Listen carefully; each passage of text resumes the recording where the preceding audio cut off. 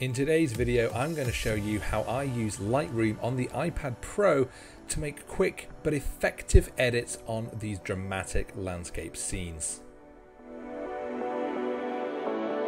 So here we are in Lightroom on the iPad Pro.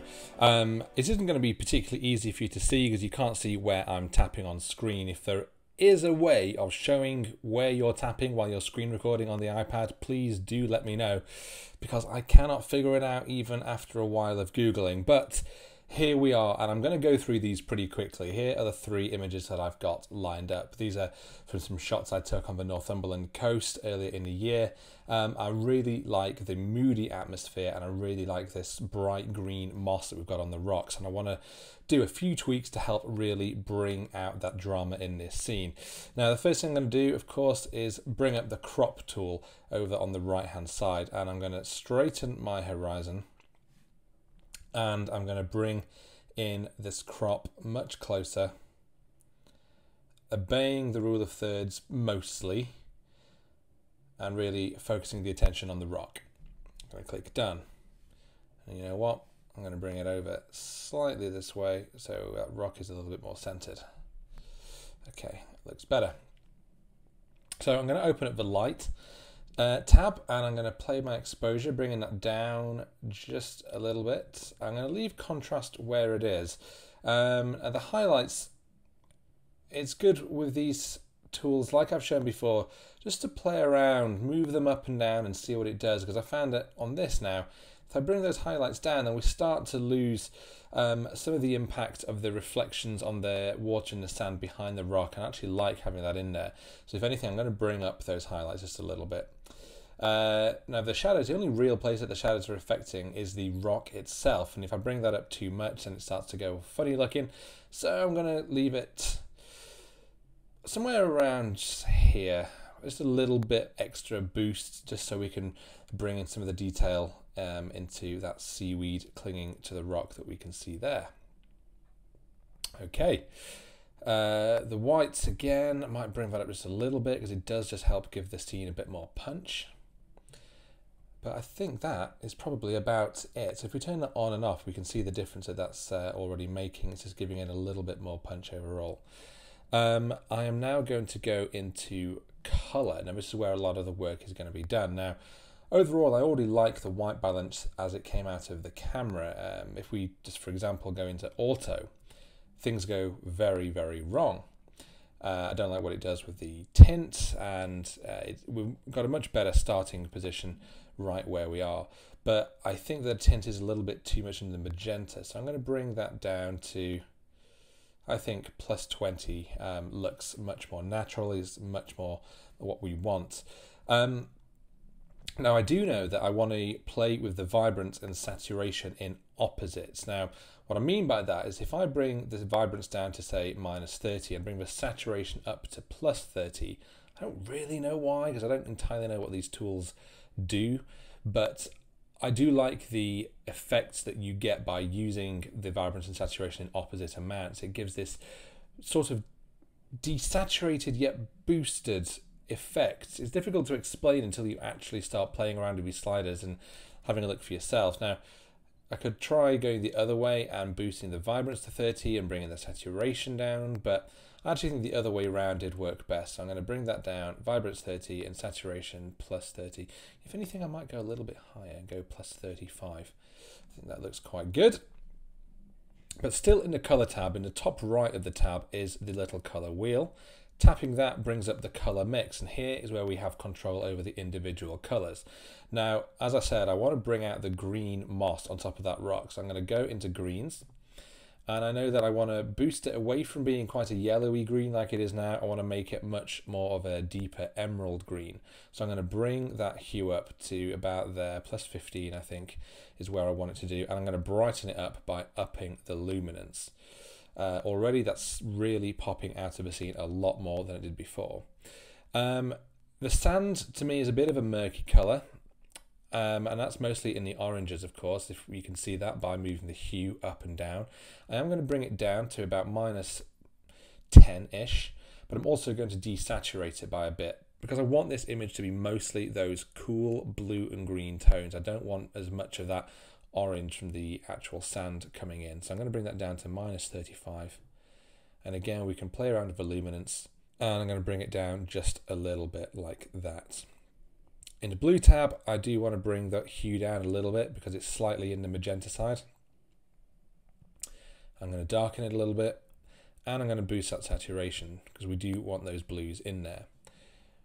And if we tap on the picture, that shows us before and after, and we can really see the differences that these changes have made so far.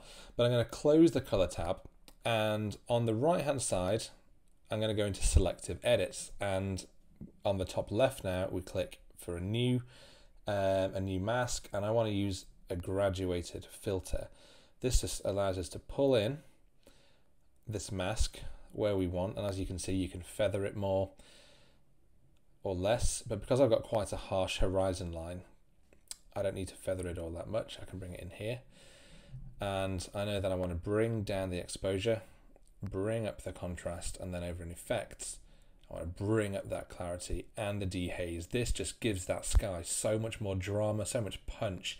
Those clouds become really detailed and separated, and it really just gives such an amazing mood to the scene overall. If we look before and after, the sky suddenly looks so much more foreboding and I just love it.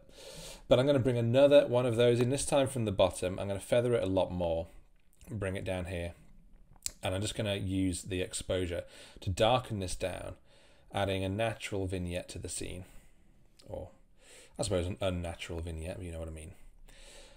And now by using those two filters, you can see how the focus has been brought so much more to the rock in the middle. It just really pops out of that scene so much more. Now, there's not a whole lot more I want to do to this now. I'm very happy with the look that we've got. Um, zooming in on the rock, I love the amount of detail that's on this. I don't think there's anything else I need to do. I'm happy with the exposure. I'm happy with the amount of uh, seaweed that you can see on this rock. And the colors, I think, look absolutely great. Um, I'm going to go back into lightness and just have a little tweak of that contrast. I think by upping that just a touch, I might actually bring those shadows back down to zero. Yeah, that looks a lot better. The last thing I do want to do though is just down at the bottom we can see we've got some of these little bits of detritus cluttering up my scene, but that is very easy to get rid of in Lightroom as well by using the healing brush tool, selecting a size that's about that, and literally just painting it in and then you can just move around and tell Lightroom where you wanted to sample from. Now I'm using, uh, right now I'm using my, my Apple Pencil, which is just giving you a little bit more uh, control over where I'm actually uh, painting these things in. It just makes it a little easier to work and to add in dots as I'm doing now for these smaller bits. But I also do this a lot using just my finger as well. You just need to be a little bit more careful where you're prodding, particularly if you've got chunky digits like mine that don't give you that sort of fine grain control. The pencil does just make it much easier to be precise. And as you can see, Lightroom is doing a really good job at removing these little bits. Um, if there's a lot of stuff to do or cleaning up large areas or big object removal, that's the sort of thing I would go over into full Photoshop for. But I just want to give you an idea of how I work on location very quickly in Lightroom. And I do do a lot of work on location using just um, Lightroom like this, even sometimes on, on my phone, not even on iPad. If I have taken a shot that I want to very quickly share to Instagram or to Twitter, Lightroom on mobile is brilliant for that. As you can see, it's done a really good job it has just missed one little bit here.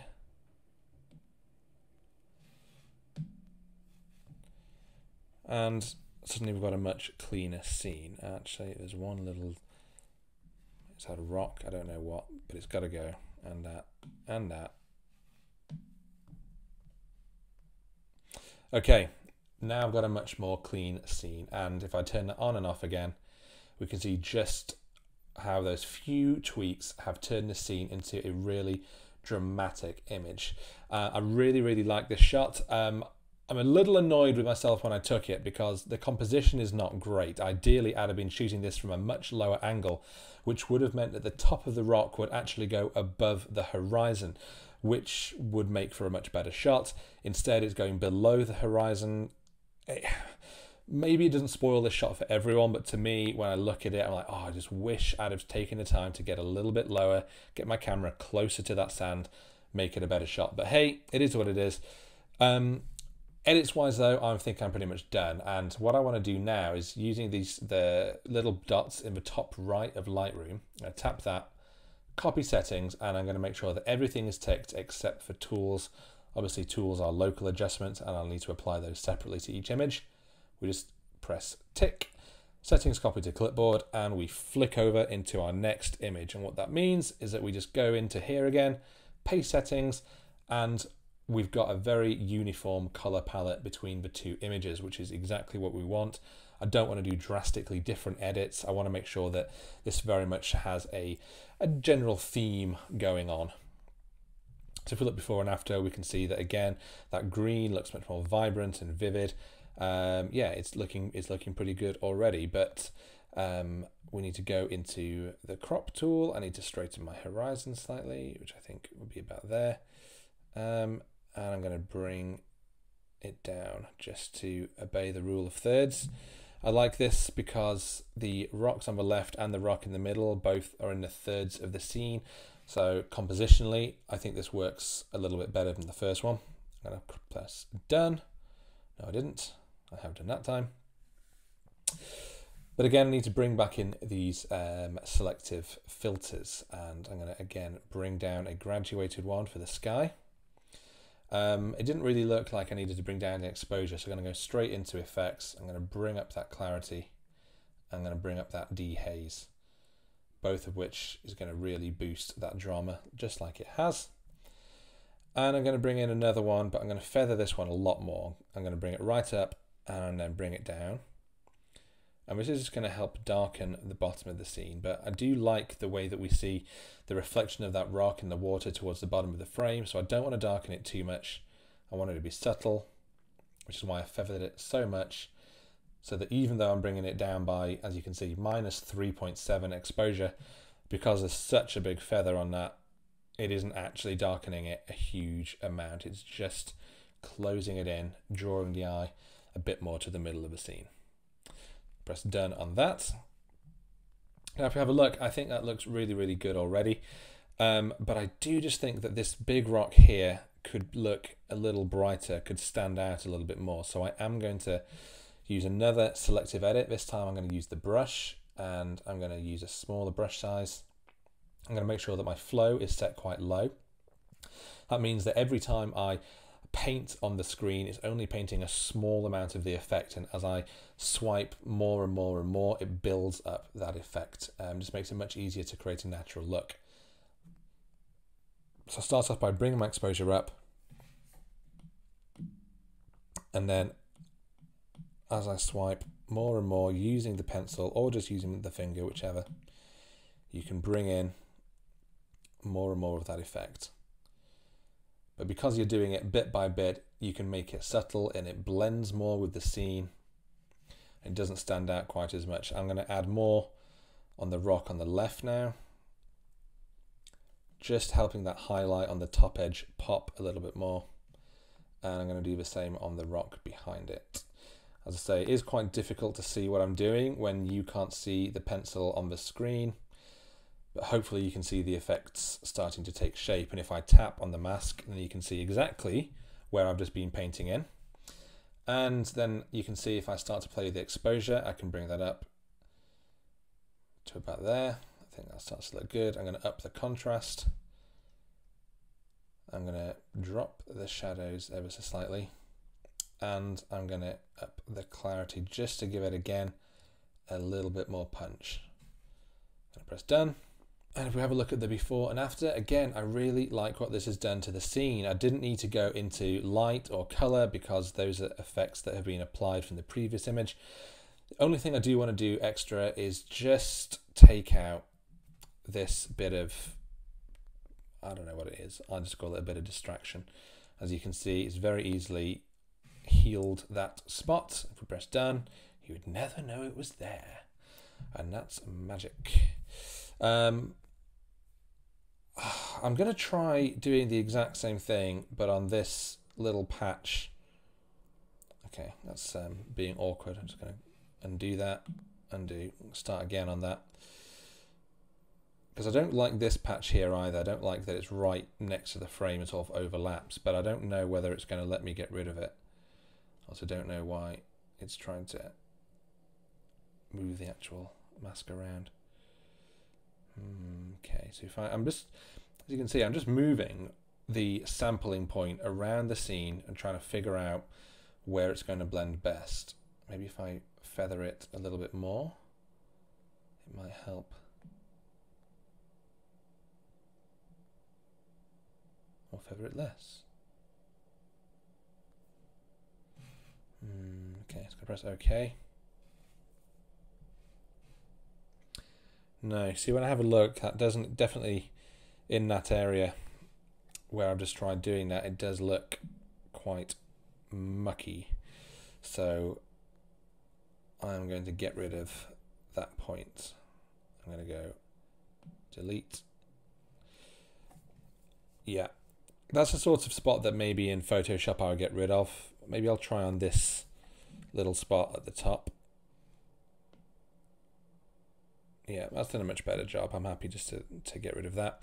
Yeah, that that bit right here, I could probably do a better job of that in Photoshop. In fact, I could definitely do a better job of that in Photoshop. But the whole point of this video is, again, just to show you those very, very quick edits that I would do if I'm working on location and I just want to turn around a good looking shot in a short amount of time. Um, and I think that is what I would do on this scene. And so now again, I can move on to the next one and we'll try again with pasting the settings. Now, as you can see, it hasn't done as good a job because the color tones in this image, I took this, I think about 40 minutes later and as a result, applying those same effects hasn't really done a very good job. So I'm going to undo that and we're going to basically start from scratch with this one. Um, starting, of course, with straightening my horizon. And I'm going to bring that crop in a little bit more. I want the rock to be centered. It was really the rock that stood out to me when I was walking along this beach. I love the way it's got this S-shaped curve to it, the green moss on top again. I think it looks really, really nice. Um, so I definitely uh, wanted to stop and snag this quick shot. Um, my crop's done. I'm going to start with my exposure. I'm going to bring that up a little bit. I'm going to bring the highlights down. I'm going to bring my shadows up slightly that's pretty much it for light. Going into color now, I can see that it's a little bit warm, so I'm going to cool it down. And my tint is a little bit in the magenta side, so I'm going to bring that down to about there. I think that's looking better. Uh, again, I'm going to bring my vibrance down and the saturation up, not quite the same amount. I'm going to just leave it a few points below. And crucially, I'm going to go back into the color mix. Um, I know that I definitely want to bring down a lot of the orange of the actual sandy beach.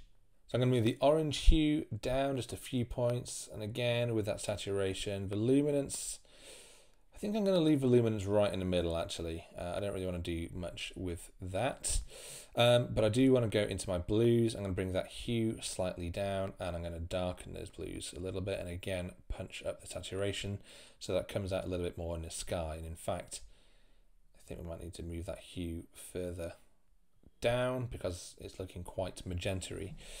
um, it may be that there's quite a lot of magenta in the sky, but there is, as you can see, a lot of magenta in the sky. So I'm going to bring that hue down to minus 25 and drop the luminance a little bit. Okay, looking better already. Again, flick on and off. We can see what's going on. But again, we're going to need to want to use these selective edits. So I'm going to bring in the graduated one for the sky. I'm going to bring the exposure down just a touch. I'm going to bring the contrast up. Uh, effects then, I'm going to go into clarity. We're going to boost that and we're going to boost the dehaze. Again, I just love how much that cloud texture just suddenly pops out from the sky and we get this amazing, moody, dramatic sky. It's a wonderful way of showing off the drama of landscapes like this. Uh, again, I want to bring in another one from the bottom, darken that down, just helping draw the eye to the rock in the center of the scene. Looking good. I did realize I didn't do anything with my greens, so I'm going to go back into that color mix. I'm going to boost those greens much more into the emerald because right now, as they are in the middle, they're quite a yellowy green, and I don't want that. I want that proper emerald green that it actually was to really pop out more. So I'm going to bring that quite high, plus 33. I'm going to up that luminance, and that looks about it color-wise. I think that's looking pretty cool. Now, I just realized in light, I'm to bring the global exposure down just a few drops. It's looking a little bit too bright overall. But then what I do want to do, I'm to zoom in slightly and I'm going to use the brush tool again. Small brush, low flow, up the exposure. And again, using the Apple Pencil or just a finger, I'm going to brush in selectively just some extra light around on the S of this rock, which is just going to help make that green really pop out and just help the whole rock in particular just pop out of a scene in a way that it doesn't necessarily right now. I think this is going to look good. And again, if we just tap that, we can see where I've applied that mask going right the way around. And this is helpful if you are using an Apple Pencil or a stylus on an Android tablet. It is uh, it is helpful to have that for that sort of precision. It's it's a sort of work I would do using a graphics tablet on my um, on my main uh, computer normally.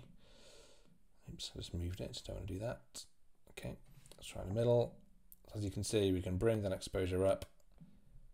Bring the highlights down a bit, up the contrast, drop the shadows a little bit, and pop it with a little bit more clarity.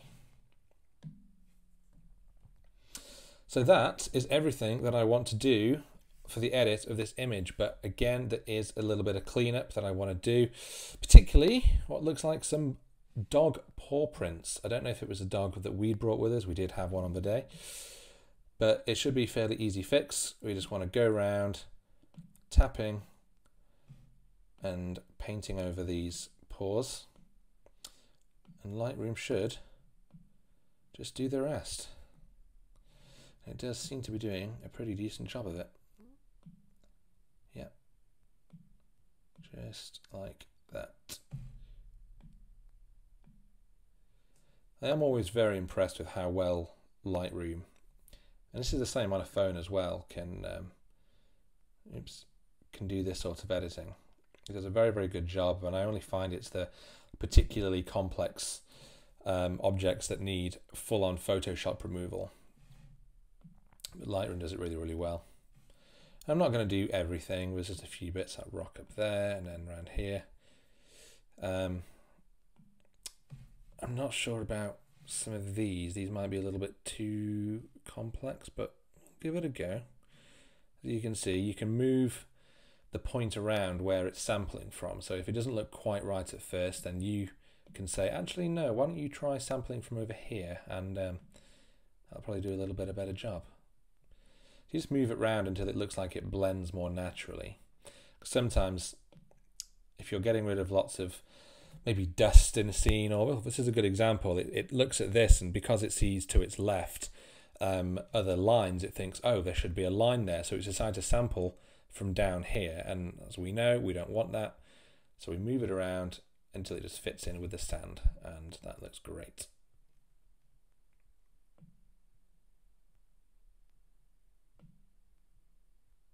Okay, this one here didn't really work. So again, let's move that. Looks better. Oh, this one, for some reason, decided that it was going to sample from the rock. Not the rock, of course. We can sample from Dwayne The Rock Johnson all we want, but I don't think that's going to help our image. And I'm going to take rid of this one. I know that is just a rock in the scene, but it just it's a little bit of a distracting one. And there's a few other little pebbly bits here that are just catching my eye in a way that I don't quite like. So I'm going to get rid of those two.